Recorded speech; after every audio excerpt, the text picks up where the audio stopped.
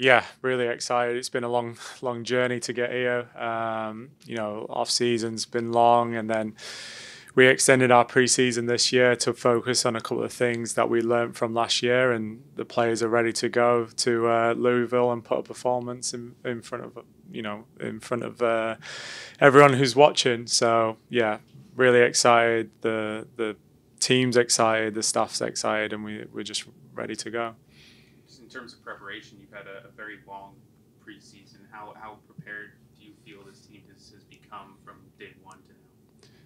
Yeah, like I said, there's been things that we wanted to focus on, um, areas that you know we might not have done last preseason, and we wanted to make them a priority going into into this season. So we worked on that preseason. We had some competitive games um, during preseason, also, and you know we've added uh, new players to the group, so I had to make them feel at home with the with the players that we already had here. So there's a lot of lot of things that we had to get in place to make sure that we're ready to go for this uh, upcoming game.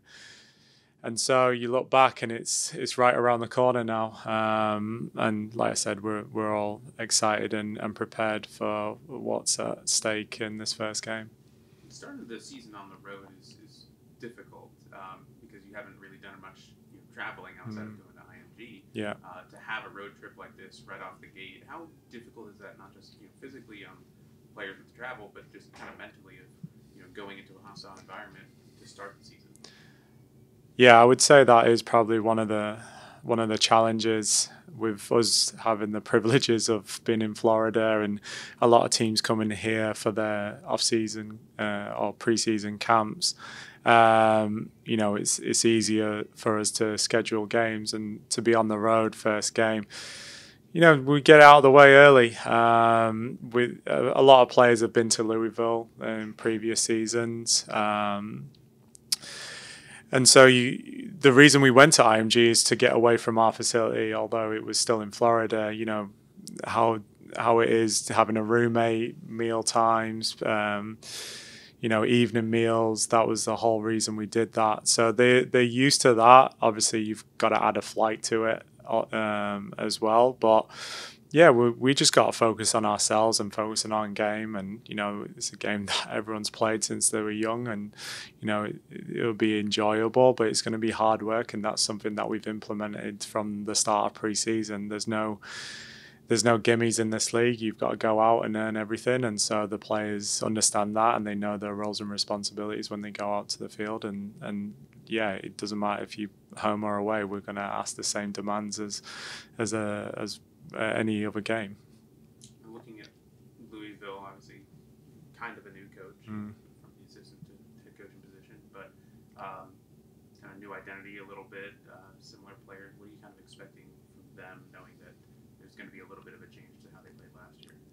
Yeah, uh, there's a lot of unknowns to be honest. Um, you know, Bev was there last year uh, as an assistant, and and you know, great for her being the head coach now and, and being able to lead this team. Um, and so it may look different, you know, different style of play, different formation. Like you said, they've added some key players um, to their roster, and we have to be aware of that. Like I said, you know, it's not, it's not. There's no easy games. There's everything's a challenge, but I think we just have to stick to who we are as a team and our principles, our identity, and and you know how we started last year uh, can really have an influence of the uh, end of the season. So we need to start strong uh, and aggressive and and go after Louisville like we would any other team. Kind of mentioned that just starting the season strong, knowing that how things started last year kind of affected the, the way the season ended. How much have you been kind of harping on, on the team about a strong start to the season?